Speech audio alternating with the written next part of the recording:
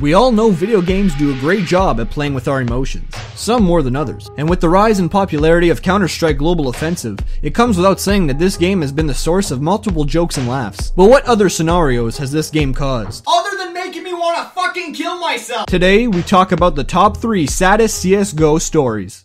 Number 3. Old Man Jeremy.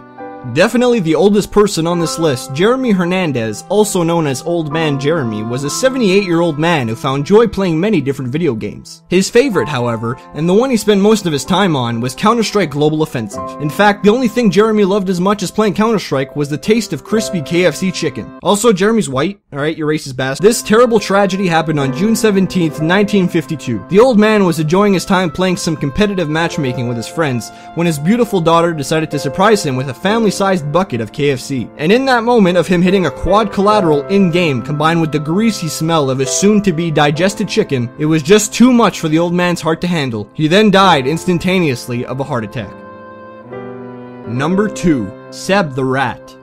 Seb the Rat has a very particular story. Born with the name Sebastian Woodcock, he had been playing video games all his life and was actually pretty good at them. Even if he wasn't the best, he would always keep practicing until he got better. It was just in his character. It was only until earlier this year that his failure to do good had got to him. Seb constantly played with one of his good friends named Darzii. Darzii, being the talented and ingenious man that he was, constantly set world records on various surf maps within the Counter-Strike community servers. But the Rat had enough of Darzii's gloating and set a goal for himself to beat Darzii's high score. On February 4th, 2016, the young Sebastian had spent more than 22 hours in front of his gaming monitor with no breaks to eat or even go to the bathroom. His mother, being very concerned for his health, went to the basement to check up on him, only to find out that he had fully transformed into a disgusting, dirty rat. He was never heard from again. Number 1. The Real MC.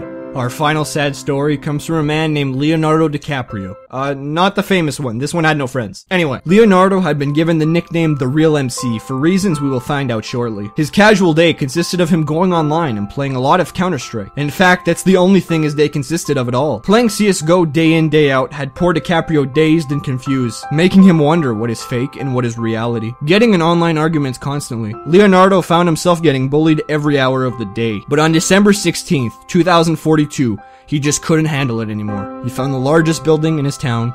He went on the roof, stood on the edge, looked down as one tear fell from his face, and took a picture as his new hobby consisted of becoming a photographer. But sadly, two years later, he found a new passion in making Minecraft Let's Play videos, which we all know is the saddest story of them all. And that's our list. Thank you guys so much for watching. If you guys have any other stories you'd like to share with anyone, please tell them in the comment section below. Also, if you guys could refresh the page at least 20,000 times, that'd be great because my kids are fucking starving. I've been your host, Arbonzel, and uh, yeah, stay dang.